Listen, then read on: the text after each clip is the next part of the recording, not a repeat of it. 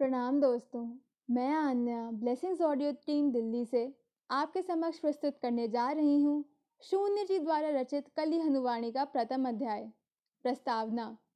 घने जंगल की एक साधारण दोपहर में अधेड़ आयु के दो लोग एक पेड़ की आड़ में छिपकर बैठे थे।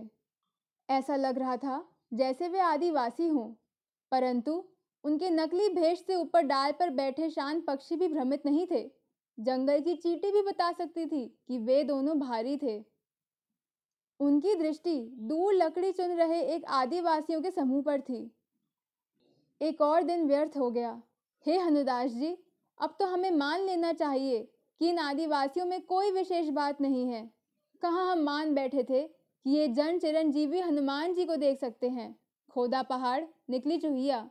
एक बाहरी पुरुष गहरी श्वास छोड़ते हुए बोला हनुदास जी ने भी कहा, ठीक कहते हो आप, स्वामी जी। हनुदास जी के मन का एक कोना अभी भी आदिवासियों के प्रति उत्सुक था। वे स्वामी जी तथा अपने एक अन्य साथी के साथ पिछले कई दिनों से इस आदिवासी समाज की गुप्तचरी कर रहे थे। वे तो हनुमान जी के परम भक्त थे। वे हनुमान जी और इन आदिवासियों के मध्य स्थापित पवित्र गुरु शिष्य संबंध पर शोध कर रहे थे।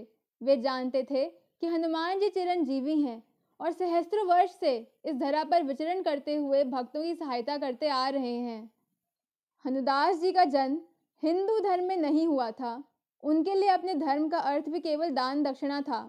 तब वे हनुमान जी के दास ना होकर कनाडा देश के टोरंटो नगर में एक कुलीन जीवन शैली के दास हुआ करते थे। उनके जीवन में परिवर्तन तब आया जब उन्होंने पहले अपनी पत्नी को एक दुर्घटना में खो दिया और उसके बाद अपने पुत्र भी मादक पदार्थों और मनोविदलता नामक मानसिक रुग्णता की भेंट चढ़ गया। विशेषकर उनके पुत्र की धीमी मृत्यु ने उन्हें झकझोर कर रख दिया।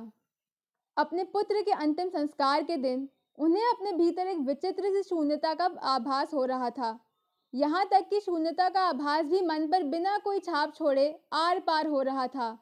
कोई दुख नहीं, कोई पीड़ा नहीं, कोई पछतावा नहीं, सब कुछ तो उनके पुत्र के साथ चला गया था। रह गई थी तो शून्यता और संभवतः शून्यता भी चली गई थी। परंतु शून्यता के जानने के पश्चात भी तो शून्यता रह ही जाती है। अंतिम संस्कार के पश्चात उनके भाई और वे घर जा रहे थे।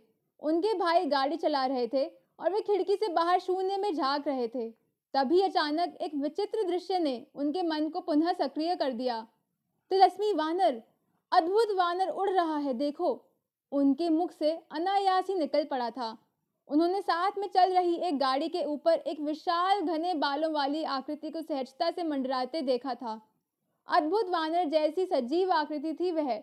गाड़ी के साथ साथ और गाड़ी की ही गति से उड़ रही उस आकृति का शब्दों में वर्णन करना असंभव है। ऐसा कुछ नहीं है भाई वहाँ। आपको विश्राम की आवश्यकता है। उनके भाई ने संवेदना पूर्वक सिर हिलाते हुए उत्तर दिया था। उनके भाई ने संभवतः सोचा था कि पुत्र की मृत्यु के कारण उन्हें पागलपन का कोई दौरा पड़ा था। ध्यान से देखो, तत्पश्चात उनकी वाणी को अचानक विराम लग गया, क्योंकि खिड़की के बाहर जब उन्होंने पुनः दृष्टि डाली तो वह तिलस्मी प्राणी वहाँ नहीं था। साथ में चल रही गाड़ी की छत पर पूर्णतः खाली थी, सिवाय एक छोटे से भगवा ध्वज के, जो दिव्य प्राणी कुछ पल पहले उड़ता दिखाई दिया था। उसके जैसी एक छोटी सी आकृति अब उस भगवा ध्वज पर अंकित दिखाई दे रही थी। वह आकृति कोई और नहीं अपितु चिरंजीवी देव हनुमान थे। उस गाड़ी में एक दिव्य पुरुष विराजमान थे। उनके शान चेहरे पर लंबी दाढ़ी सज्जित थी। आगे चलकर वे महापुरुष हनुदास जी के गुरु बने। कुछ महीने पश्चात हनुमान जी ने नगर टोरंटो में अपना सब कुछ छोड़कर और अपनी पुरानी पहचान त्याग कर भारत आ गए। गुरुदेव ने उनको नया नाम दिया हनुदास। इस नाम का अर्थ है ऐसा मनुष्य जिसने अपना जीवन हनुमान जी को समर्पित कर दिया हो। गुरुदेव ने उड़ते वानर के दिव्य दृश्य को प्रतिपादित करते हुए कहा था, हनुदास, वह आपका मति भ्रम नहीं था। उस दिन आपने सचमुच में चिरंजीवी हनुमान जी के दर्शन किए थे। क्योंकि मैं दुख व अज्ञान से त्रस्त आत्माओं को सही रास्ता दिखाता हूँ, बहुत सारी बुरी शक्तियाँ मुझे शत्रु के रूप में देखती हैं। हनुमान जी उन्हीं बुरी शक्तियों से मेरी रक्षा करने के लिए मेरे साथ रहते हैं। अपनी लज्जा को मिटाने हेतु वे शीघ्रता से बोले, अवश्य गुरुदेव वह कोई मतिभ्रम नहीं था। मैंने तब हनुमान शब्द भी नहीं सुना था। मुझे नहीं पता था कि वह दिव्य आकृति किसी धर्म के प्रसिद्ध देव की आकृति है। संभवतः मेरे जीवन का सबसे वास्तविक अनुभव था वह। उस एक पल में मानो मैंने पूरा जीवन जी लिया हो। मात्र एक पल का दृश्य था वह। उसके पश्चात हनुमान जी पुनः मेरी आँखों से ओझल हो गए। ऐसा लगा जैसे वे एक छोटी सी आकृति बनकर उस ध्वज में अंकित हो गए हों। जो आपकी गाड़ी की छत पर फहरा रहा था। मुझे लगता है हनुमान जी कहीं नहीं गए थे। वे तब भी आपकी गाड़ी की छत के ऊपर अपने चिर परिचित रूप में उड़ान भर रहे थे। किंतु मेरी आँखें उस दिव्य शक्ति, उस पवित्रता को खो चुकी थी, जो उनके साक्षात दर्शन के लिए आवश्यक होती है। व्यापक मुस्कान के साथ गुरुदेव बोले, हे हनुदास, क्या आपको पता है, महाभारत के युद्ध के दौरान हनुमान जी अर्जुन के रथ के ऊपर विराजमान थे। उन्हें अर्जुन के रथ की रक्षा का कार्य सौंपा गया था। केवल पांडव और भगवान श्री कृष्ण उनको वहाँ देख सकते थे। शत्रुओं की आँखें कुछ देख सकती थी तो केवल वह ध्वज जो रथ के ऊपर फहरा रहा था और हनुमान जी की आकृति जो उस ध्वज पर अंकित थी। गुरुदेव ने आगे बताया, केवल पवित्र आत्माएँ हनुमान जी को देख सकती हैं। जब आप अपने पुत्र का अंतिम संस्कार करके लौट रहे थे, तब आपका मन पूर्णतः रिक्त था। जिस क्षण आपने हनुमान जी को मेरी गाड़ी की ओर ऊपर उड़ते हुए देखा था, उसी क्षण आपका मन पुनः सक्रिय हो गया। आपका मन उन्हीं चीज़ों में उलझ गया, जिन चीज़ों में मानव मन प्रायः उलझा रहता है। आपका मन उत्तेजना पूर्वक उन मानसिक डिब्बों की उथल पुथल करने लगा।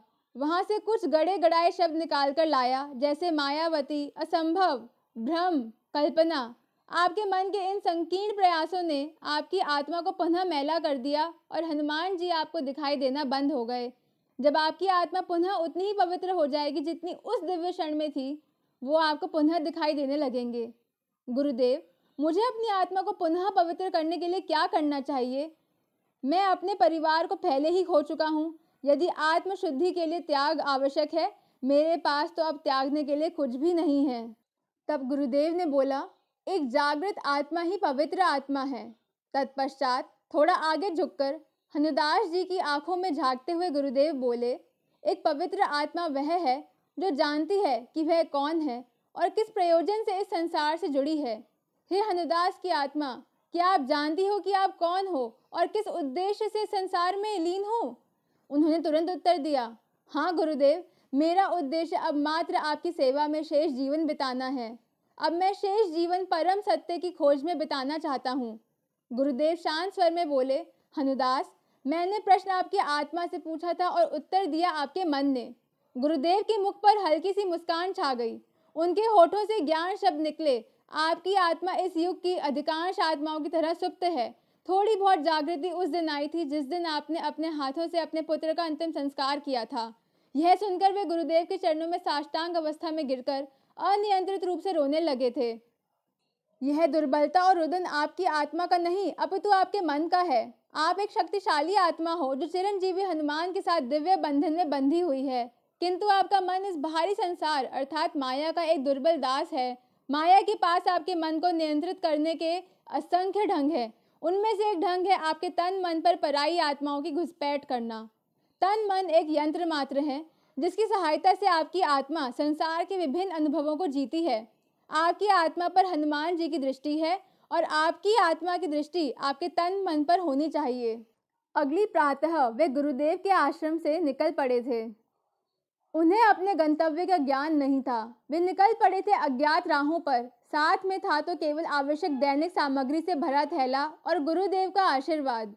अगले कई महीने वे भटकते रहे। उस गंतव्यहीन यात्रा में उन्हें भांति भांति के अनुभव हुए।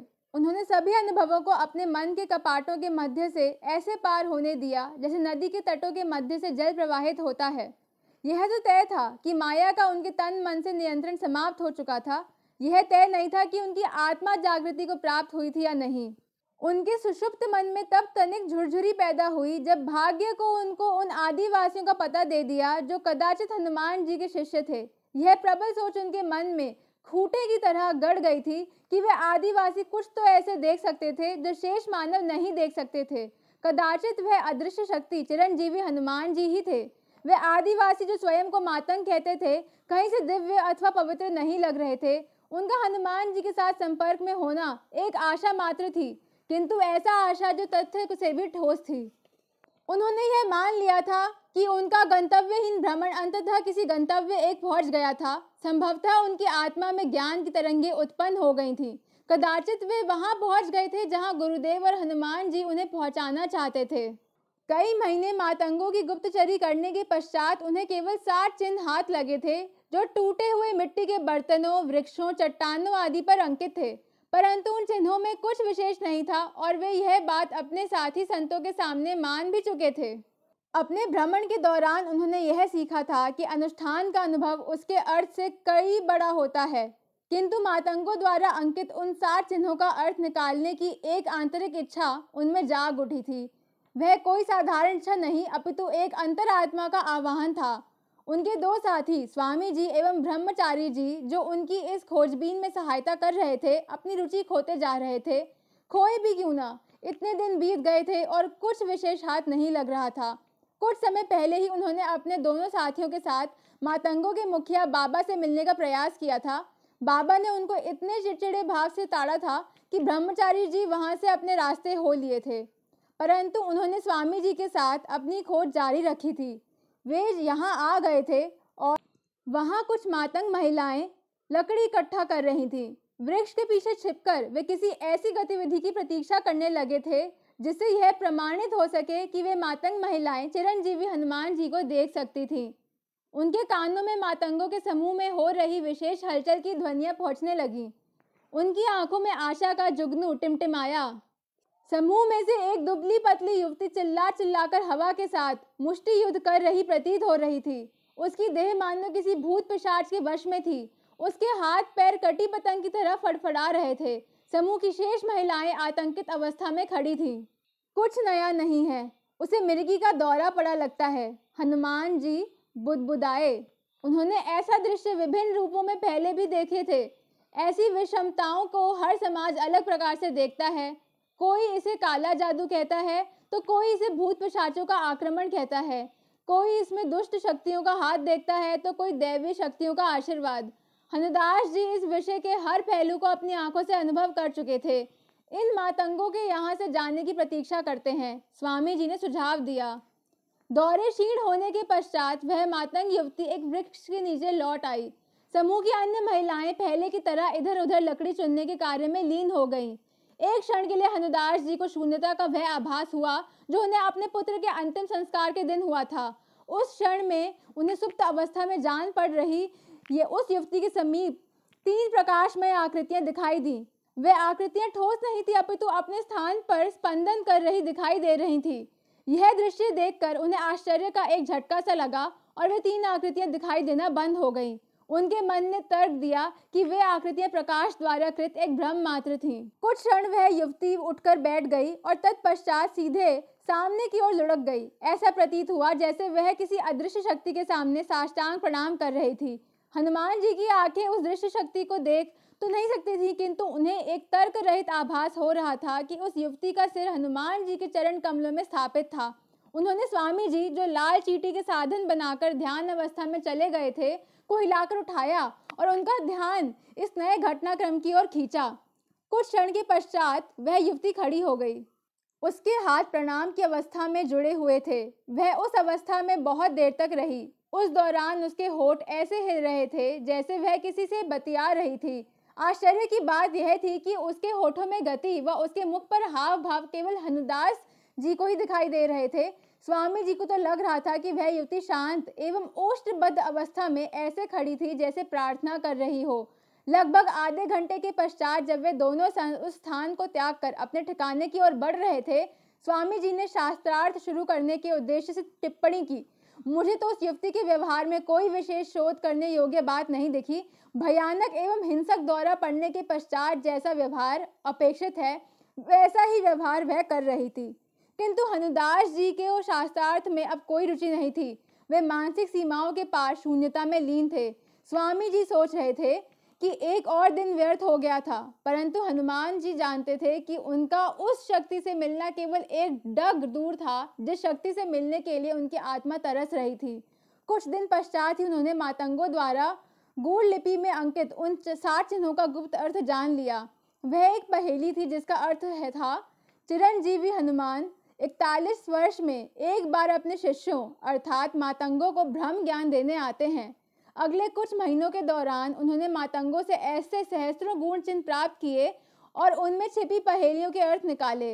उन चिन्हों में हनुमान जी द्वारा उनके शिष्यों के प्रदत्त पूर्ण ब्रह्म ज्ञान समाहित था। वह ब्रह्म ज्ञान आगे चलकर मुख्य धारा के समाज में रहने वाले भक्तों को कली हनुवाणी नामक पुस्तक के रूप में प्राप्त होना था। आज के लिए इतना ही दोस्तों, धन्यवाद।